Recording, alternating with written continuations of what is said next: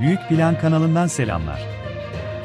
Türkiye ve dünyadaki önemli gelişmelerden haberdar olmak için kanalımıza abone olup bildirimleri açmayı unutmayınız.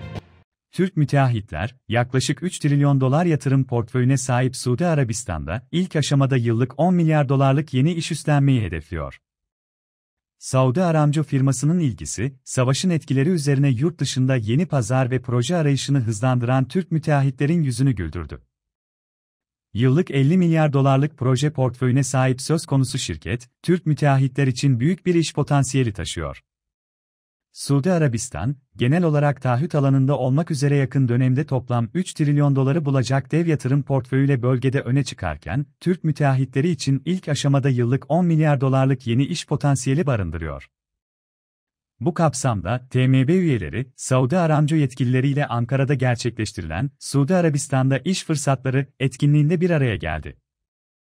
Etkinliğe 80 civarında Türk müteahhit ve teknik müşavirlik firmasından temsilciler katıldı. Allah hamdi, Türkiye'nin başarılı bir geçmişe sahip, birçok yetkin ve saygın müteahhitlik firmasına ev sahipliği yaptığını, Saudi Aramco'nun, hedeflerine ulaşmak için Türk müteahhitlik firmalarının uzmanlığından faydalanmayı amaçladığını söyledi. Saudi Aramco'nun petrol, doğalgaz, petrokimya, enerji ve elektrik, altyapı ve konut projeleri gibi farklı alanları kapsayan proje portföyüne sahip olduğunu dile getiren Allakamdi, yakın dönemde başlatılması planlanan 100 milyar doların üstündeki projenin planlama sürecinin devam ettiğini ifade etti.